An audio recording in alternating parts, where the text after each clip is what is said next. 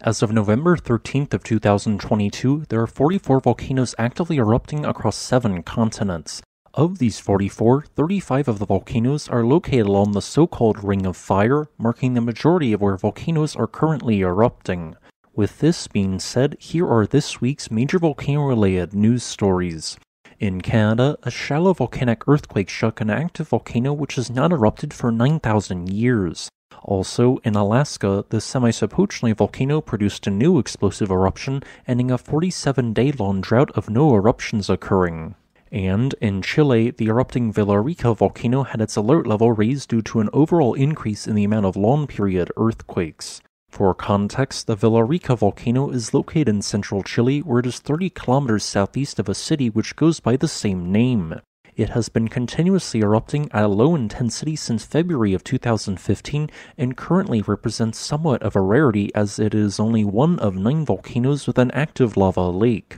During this time, it has produced hundreds of intermittent Strombolian eruptions which eject bombs of lava onto and around the crater rim while emitting small amounts of ash. Although this volcano is clearly still erupting, it had been at an alert level of green for some time. This might seem weird in the context of volcano alert level systems in the United States, New Zealand, or Italy, but I must remind people that each nation has a different alert level system with varying rules. For example, while an erupting volcano would automatically receive an alert level of orange or red in the United States, in Vanuatu, the erupting Yasur volcano only has an alert level of 2 on a 0 to 5 scale. Thus, at a volcano which commonly erupts, the used alert level system is sometimes a bit less sensitive to eruptive activity. On November 8th, the alert level of the Villarrica volcano was raised from green to yellow due to an increase in the number of long period earthquakes which are caused by the movement of fluids, whether it be magma or water, beneath the surface. This increase occurred between October 9th and November 2nd, resulting in as many as 600 such quakes on a single day. This suggests but does not necessarily prove that a larger than average batch of magma is intruding into the volcano.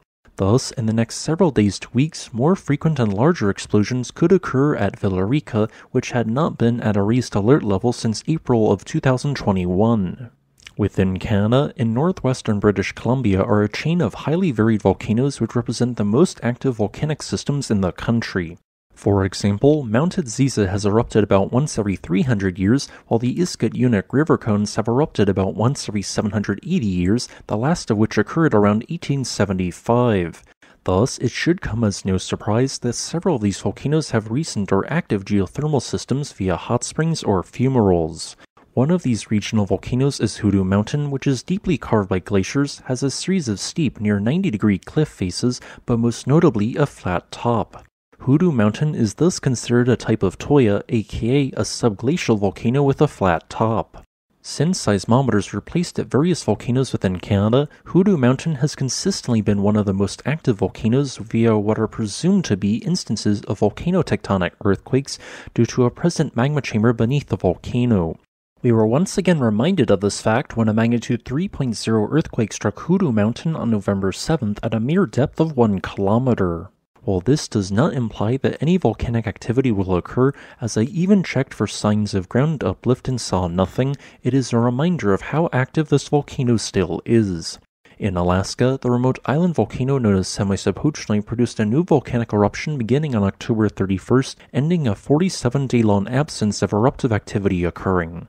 After volcanic tremor was detected on November 5th and 6th, and another small explosion occurred on November 7th, Semisopochnoi alert level was raised from yellow to orange. Here is a quick list of every volcano which is currently erupting.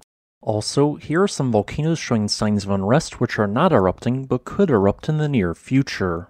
Thanks for watching. If you would like to request a specific topic, please leave a comment below. Additionally, if you wish to support this channel, consider becoming a patron on this channel's Patreon page.